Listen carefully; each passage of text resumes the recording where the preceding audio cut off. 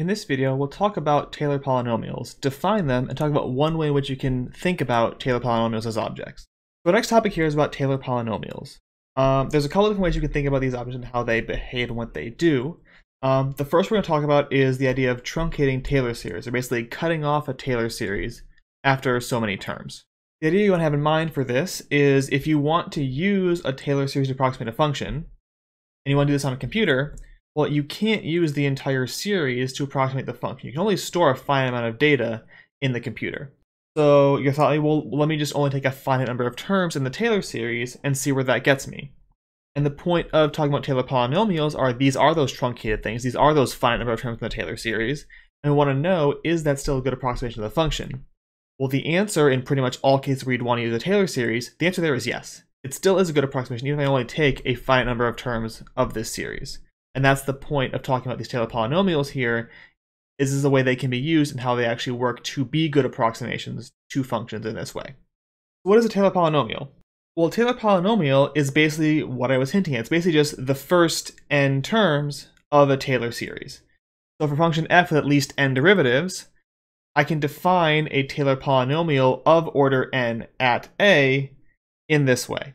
And so the idea here is basically I'm taking my normal Taylor series sum and I'm just chopping it off at some upper index n. So instead of going up to infinity, I go up to this n.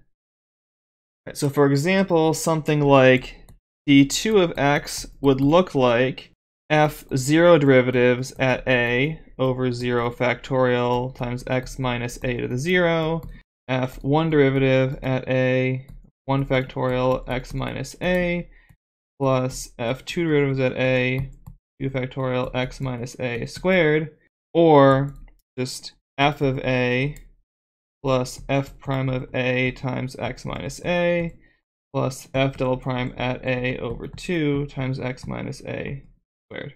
There's just one example there. The point being I'm basically taking my Taylor series and only writing out the first n terms. Similarly to Taylor series, we also have Maclaurin polynomials, right? We had Taylor series and Maclaurin series. Now we have Taylor polynomials and now Maclaurin polynomials. And that just means my center A is zero, like it was before.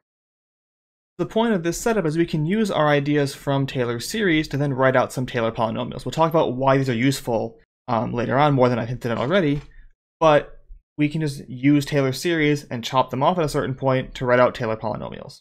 So if I want the fourth order Taylor polynomial of 1 over 1 minus x centered at 0, well, we know what this Taylor series is.